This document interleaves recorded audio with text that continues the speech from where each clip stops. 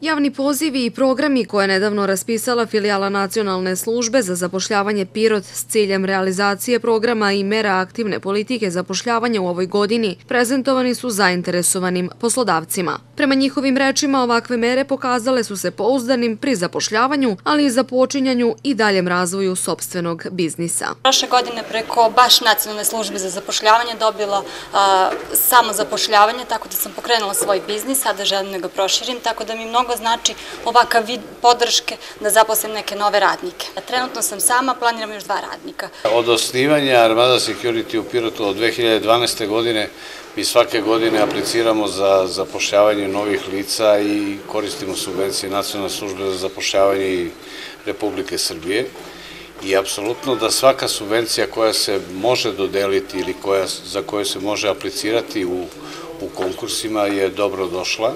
Mi planiramo da apliciramo za osam za osam lica, za toliko imamo sada potrebu.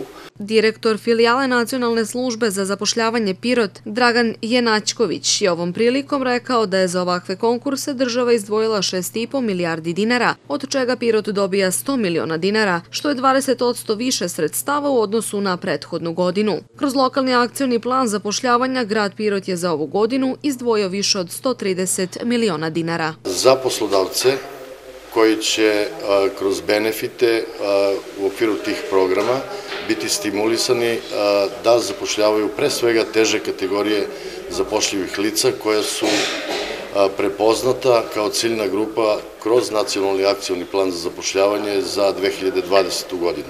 Tu teže zapošljivu kategoriju praktično radno i socijalno integrišemo, da smanjimo pritisak na budžet Republike Srbije u smislu davanja za novčanu socijalnu pomoć za te kategorije i naravno da smanjimo nezaposlenost. Ova sredstva i ovi programi su namenjeni i za nezaposlena lica. Prema poslednjoj evidenciji filijale Nacionalne službe za zapošljavanje Pirot dodaje je Načković na području Pirotskog okruga broj nezaposlenih je povećan. Registrovano je skoro 10.000 nezaposlenih.